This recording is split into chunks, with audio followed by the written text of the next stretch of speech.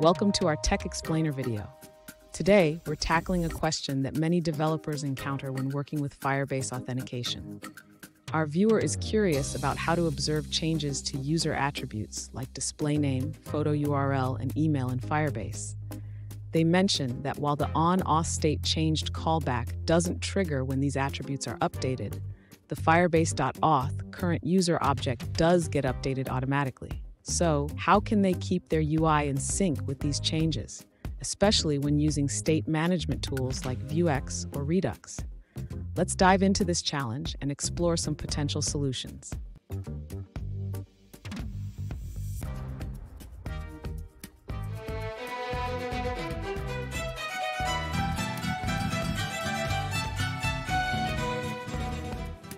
Welcome back to another technical video. Today, we'll go through your question, go through the answers for it, and hopefully that brings you to your solution.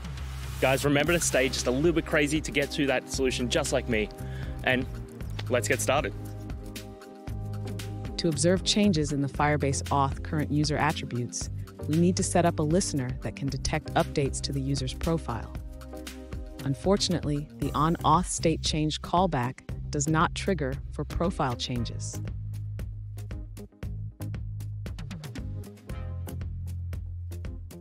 One effective way to achieve this is by using a combination of set interval and the current user object.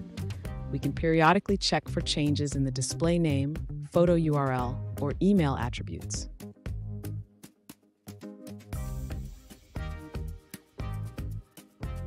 Inside the set interval function, we can compare the current values of the user attributes with the previously stored values.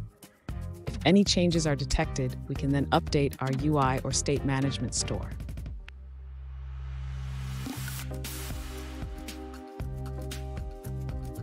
Alternatively, if you are using Vue or React, you can create a custom hook or a Vue watcher that listens for changes in the user object and updates the store accordingly.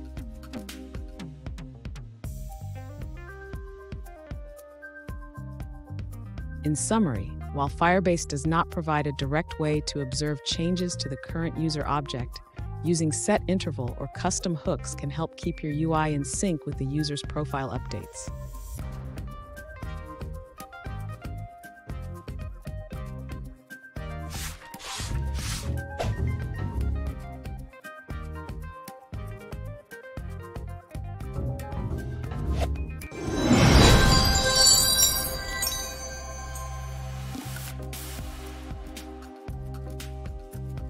Let's now look at a user-suggested answer.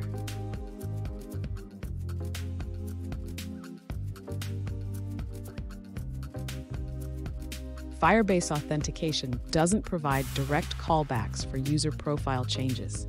Instead, you should store user profile data in a database whenever an authentication listener is triggered.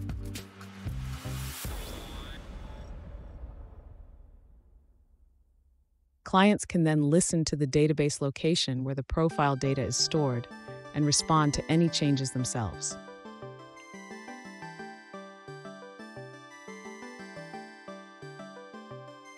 Additionally, you can use Cloud Functions for Firebase to create a database write trigger that checks for actual changes in the profile data.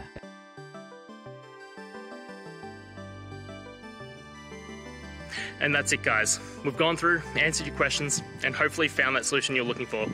If we did, please hit subscribe. I'd really appreciate it. And until next time, I hope you have a good one.